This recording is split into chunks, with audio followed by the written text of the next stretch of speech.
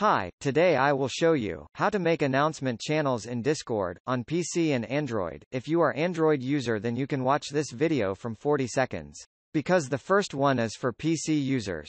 In PC, you will need to open Discord in Google, after that go to your server, go to server settings and click on Enable Community. Now click on Get Started and complete the setup.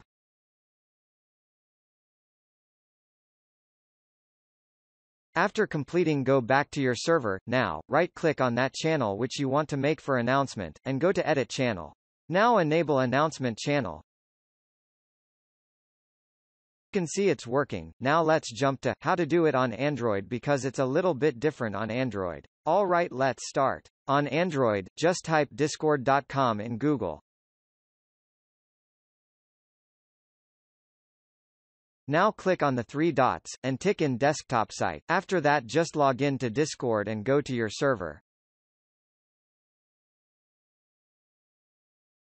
Now go to Server Settings.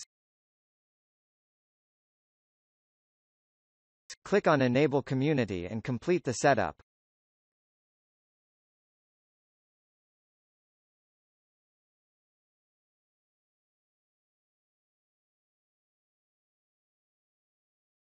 Go back to your server.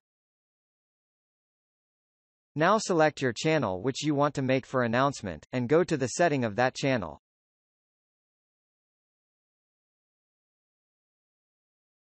After going, just enable the announcement channel.